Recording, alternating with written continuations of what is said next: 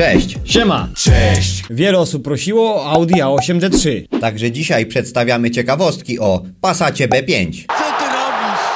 Volkswagen z premierą Passata B5 wyprzedził o kilka lat dwóch najmocniejszych konkurentów Forda Mondeo MK3 i Opla Vectre C. W roku 2000, gdy na rynek weszło wspomniane Mondeo MK3, Passat B5 przeszedł już facelifting. Kim jesteś? Jesteś zwycięzcą.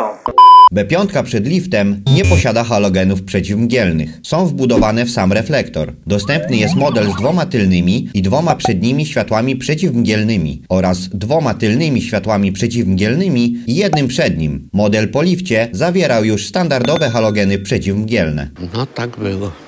W Passacie B5 występowały trzy typy zawieszenia. Standardowe, sportowe i heavy duty. W każdej z nich występowały inne amory, inne sprężyny i różne grubości stworzni. No i nie zapominajmy również o specjalnej wersji Zrób to sam Allroad.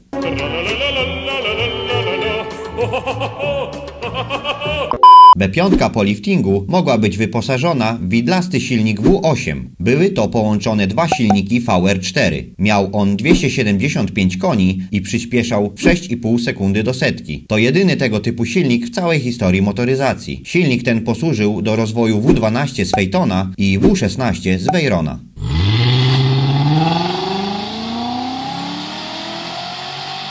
W 2005 roku Volkswagen wypuścił na rynek chiński wersję z wydłużoną płytą podłogową o nazwie Passat Link U. Miała ona o 10 cm większy rozstaw osi niż standardowy Passat B5. Model ten został zbudowany na bazie płyty podłogowej Skody Superb. No tak, 10 cm, rynek chiński, W zależności od kraju, Passat B5 po lifcie ma różne oznaczenia wyposażenia. W Wielkiej Brytanii E, S, Sport, SE, V5, V6 oraz Highline. W Europie Basis, Comfortline, Trendline oraz Highline. W USA GL, GLS, GLX oraz W8. A w Meksyku tak samo jak w Europie.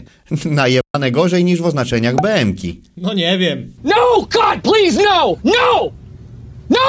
Mimo wyboru przez wiele rodzin, Passat B5 otrzymał tylko 3 gwiazdki w testach bezpieczeństwa Euro NCAP, 4 gwiazdki w ochronie pasażerów i 2 gwiazdki w ochronie pieszych. Przy uderzeniu w ścianę przy prędkości 64 km na godzinę strefa zmiotu kończyła się na początku słupka A. Do roku 1999 napęd na cztery koła nazywany był Synchro. Po roku 1999 został on zmieniony na 4Motion. No i chuj, no i cześć.